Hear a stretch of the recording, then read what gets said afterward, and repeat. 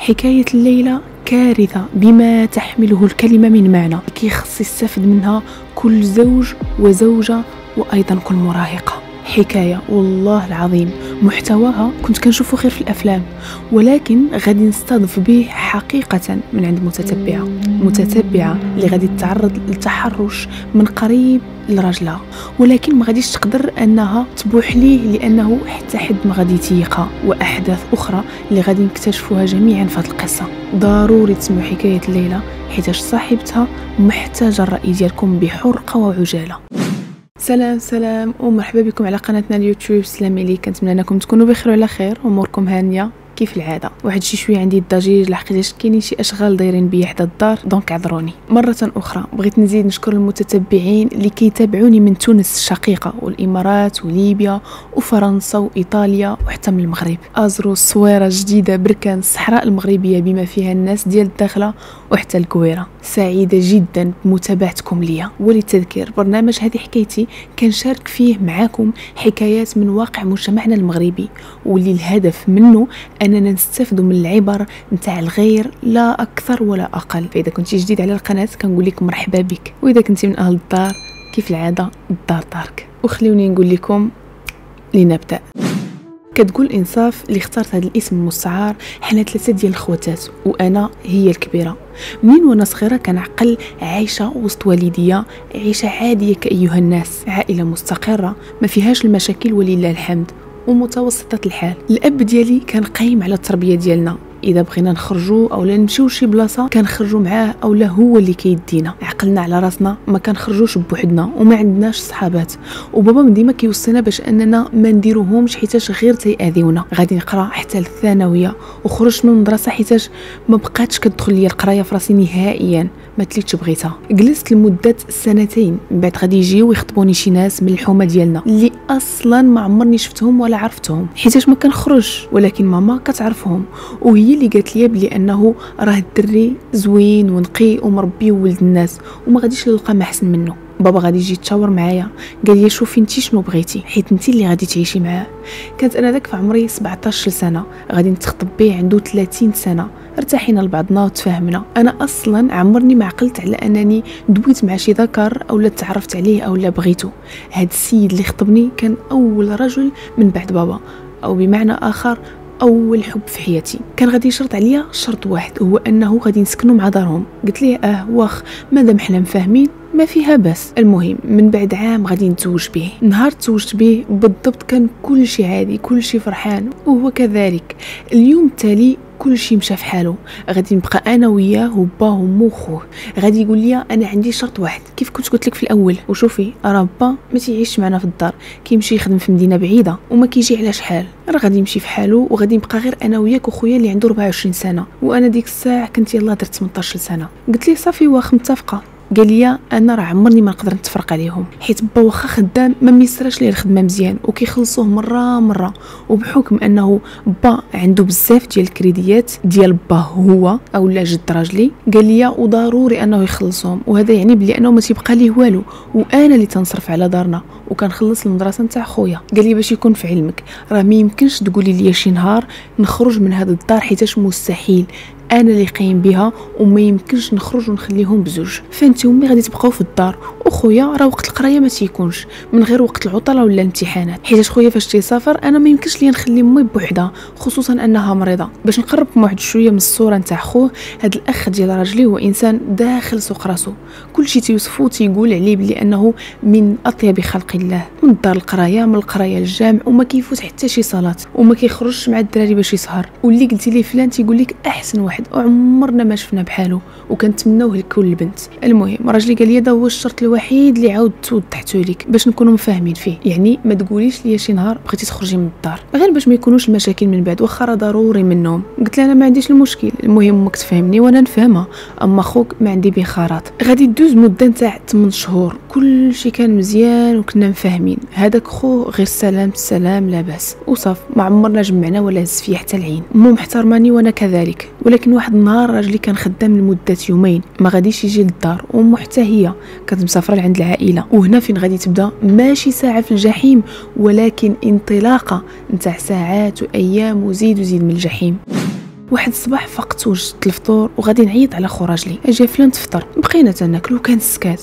شوية غادي نطق ويقول لي عرفتي حنا داز علينا العذاب. حنا بالضبط داز علينا واحد العذاب بزاف. وشكون لقينا جنبنا لقينا خويا ما كان لا با ولا عائلة. خويا هز بزاف. لو كان ما كانش تيهز من المصاريف اللي تيصرف علينا بهم كون واهلي شنو حقق دابا؟ بزاف ديال الأحلام ديالو. تعدينا عليه مسكين وتعدى عليه بابا وتيخلص بزاف ديال الديون كانوا علينا. شوية بداو تيهبطوا لي الدموع. قلت ليه وصافي ما تبكيش أنا هادشي راه عارفه وفاهمه. من بعد سكت زيت الماعن خرجت مشيت للكوزينة. هو ما كانت شي علاقة رابطاني به ولكن بعد ما جمع معايا بحال فتحنا واحد الباب نتاع واحد النوع من الصداقة بينه وبينه ولكن احترام. وصلت العشية مشيت عنده قلت ليه شنو بغيتي ندير لك فلان؟ قال لي شنو بغا؟ مشيت للكوزينة كنوجد. شوية غادي نحس بشي حد كان في الخلف ديالي وبدا كيتجرأ عليا.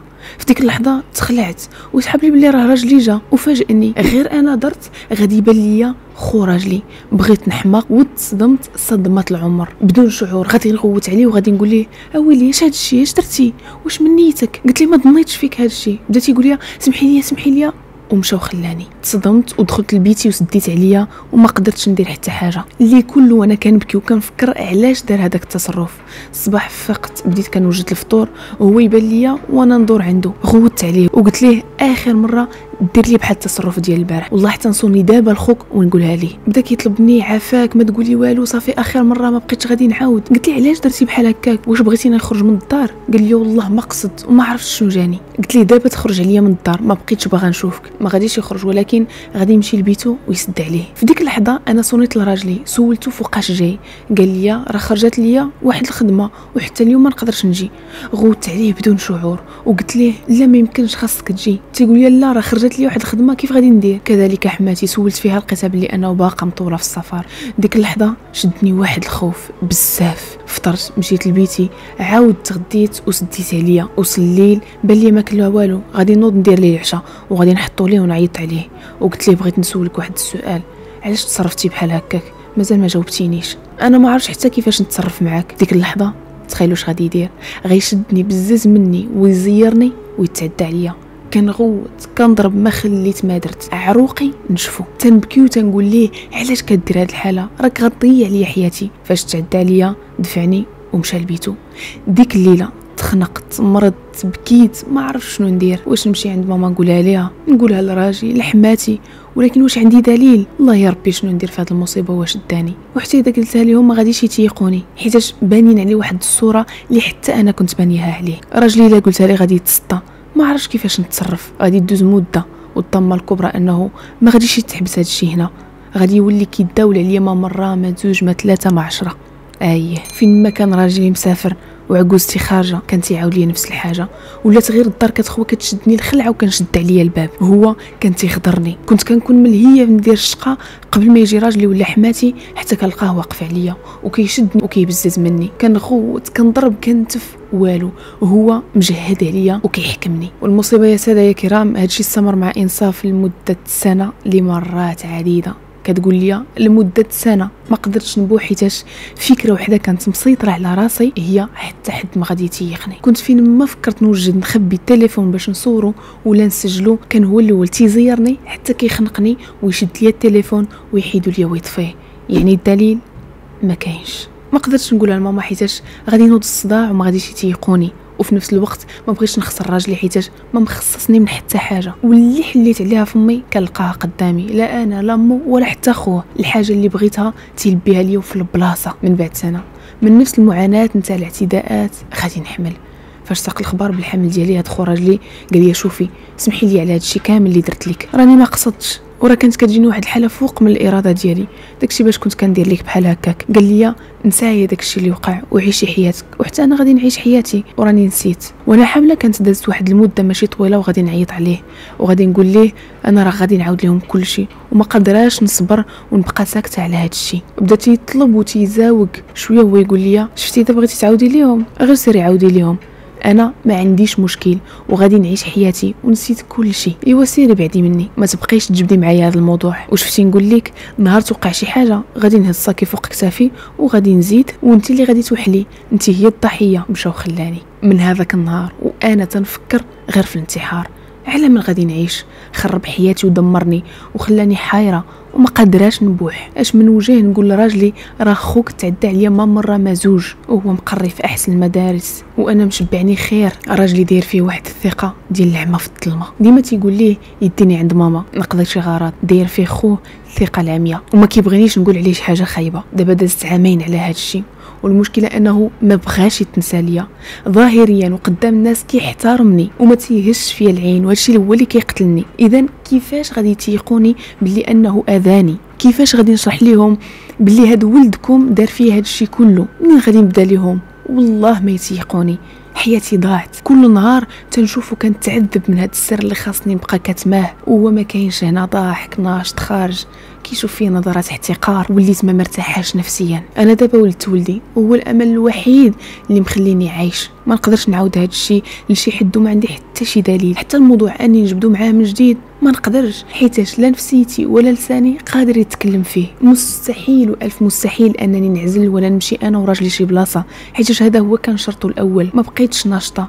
تطفيت. كنت طوير. جا عليا جناحي. ما بقاوش عندي لا أحلام ولا أمل ولا حتى حاجة. أنا جالسة على ولدي وهذه هي قصتي. ما كرهتكمش أنكم تعاونوني ما تلومونيش وقولوا لي شنو ندير حيت ما بقيتش عارفة شنو ندير. اعطوني شي حل. راه كنتوما هما الأمل الوحيد اللي باقي ليا. واش ذنبت واش غلط أشنو ندير؟ ما نقدرش نبوح بهذا الشيء لا الوالدية خصوصا ماما. تقدر تسطى ما غتصبرش بحالي ولا حتى لراجلي. وهذه هي حكاية إنصاف اللي عودتها بحرقة. وبالدموع. طما الكبرى فاش سولتها هاد الولد واش متقنة من راجلك؟ قالت لي لا ما متقناش واخا هاد الأحداث كلها كان عندي أمل أنها تقول لي آه ولد راجلي بيقين. ولكن للأسف لا. إنصاف ماشي من حقي أنني نلومك وماشي من حقي نهائيا أذيك بكلامي. ولكن راك عندك حق كبير في هذا الذنب. كلمة ما غادي تيقونيش سيطرات على دماغك. ولو ما غاديش يتيقوك المهم غادي تبرئي ذمتك وبي غادي نصرك مهما كانت ردة فعلهم. تخيلي معايا النهار الأول كون هزيتي حوايجك وخرجتي حتى يجي راجلك. ما كانش غادي يتعاود هادشي وما كانش يوصل لهادشي واخ بعيدا على رأيي البليد. شرعا في الدين الإسلامي ديالنا الخلوة ما بين الرجل والمرأة بدون ما يكون محرم معها حرام. ماشي لا يجوز ولكن حرام. لقول سيدنا محمد عليه الصلاة والسلام لا يخلون رجل بامرأة إلا ومعها ذو محرم. وقوله أيضا صلى الله عليه وسلم لا تسافر امرأة إلا مع ذي محرم. وقوله صلى الله عليه وسلم أيضا لا يخلون رجل بامرأة. علاش؟ فإن الشيطان ثالثهما. في نظرك علاش هذا الخلوة حرمها الله؟ باش ما يوقعش هذا الشيء اللي تحتي فيه انت دابا. ونزيدك في رأيي أنه حتى رجلك عنده دور في هذه الطامة. لأنه فاش كان يعرف بلي أنه ما كايناش ما خاصوش يخليك مع خوه هذا واجب عليه باش أنه يحميك. علاش ما وقفتيش هادشي النهار الأول؟ ولو كان كاع غادي يسالي بالطلاق أحسن من هادشي أنا لا ألومك ابدا وماشي من حقي. ولكن يا إنصاف راكي أخطأتي ثم أخطأتي. ودابا ضروري خصك تقلبي على حل. في رأيي والله أعلم أنك تصرحيه أنا عارفة بلي انه ماشي سهل والدنيا كدور في راسك ويمكن تنوض مشكلة كبيرة ولكن باش ما تبقيش عايشة في هذا العذاب وباش تفضحي خوه اللي غدروا في شرفه خصك تبوحي بهذا الشيء تخيلي معايا إذا جاب الله عرف هذا الشيء من بلاصة واحدة أخرى. غادي تنوض الحرب وغادي تسمي فعلا باللي أنك رضيتي على هذا الشيء وباللي أنه هذا الشيء كله وقع برضاك انت. أنا عارفك باللي كنتي ضحية في هذه القصة ولكن تماديتي باش أنك تبوحي واليوم ولا المشكل أكبر من أنه فقط اغتصاب أو طعن في الشرف. أنت اليوم عندك طفل اللي ما متيقناش واش من الزوج ديالك ولا لا.